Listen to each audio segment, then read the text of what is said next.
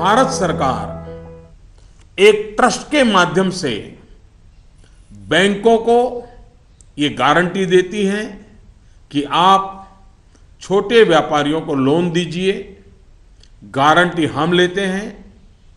अब तक यह नियम था कि एक करोड़ रुपए तक के लोन को कवर किया जाता था। अब दो करोड़ रुपए तक का लोन क्रेडिट गारंटी से कवर होगा।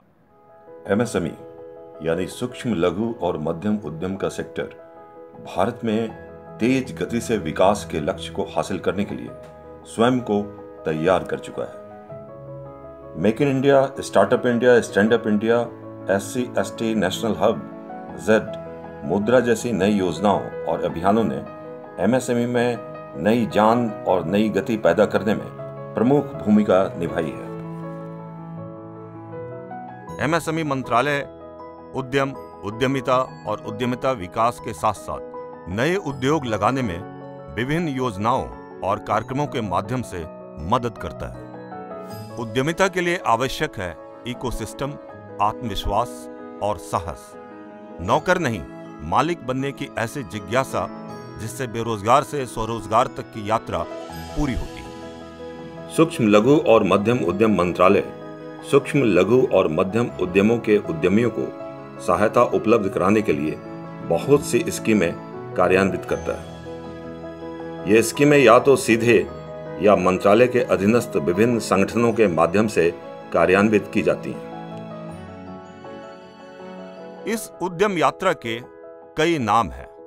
पीएमईजीपी यानी प्रधानमंत्री रोज़गार सृजन कार्यक्रम, स्किल डेवलपमेंट, गैर उद्यमी योजना SFURTI ASPIRE CGT MSE CLC SS और एनएमसीपी ऐसी 40 से भी अधिक योजनाएँ और कार्यक्रम भारत सरकार के एमएसएमई मंत्रालय के अधीन संचालित हैं। हर राज्य में मोटे तौर पर उद्यमिता विकास करना राज्य सरकार का काम है। इसे कार्यान्वित करने में भारत सरकार प्रत्येक राज्य की सहायता करती है।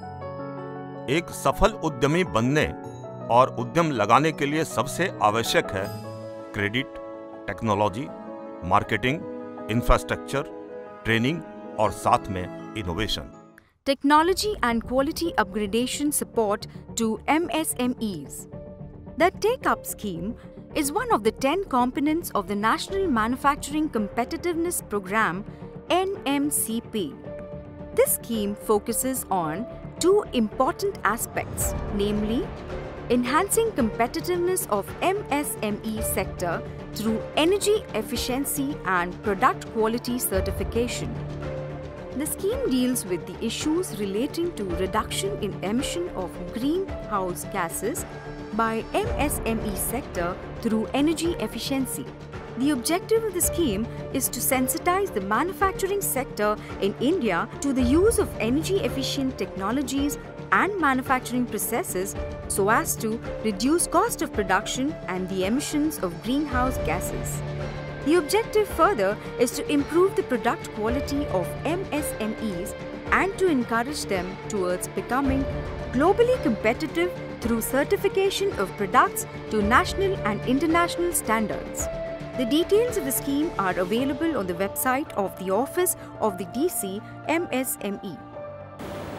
देश के विकास में एमएसएमई की बड़ी महत्वपूर्ण भूमिका है। और एमएसएमई के कारण ही देश में मैन्युफैक्चरिंग का 45 परसेंट एक्सपोर्ट का 40 परसेंट जीडीपी का 37.5 परसेंट और उत्पाद इसमें लगभग 6000 प्रोडक्ट्स हैं।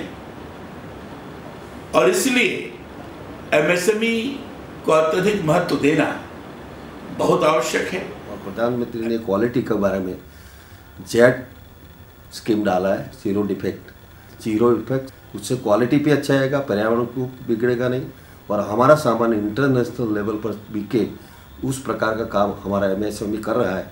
और 2019 तक लगभग 2200 करोड़ रुपए का इन्वेस्टमेंट एमएसएमई कर रही है।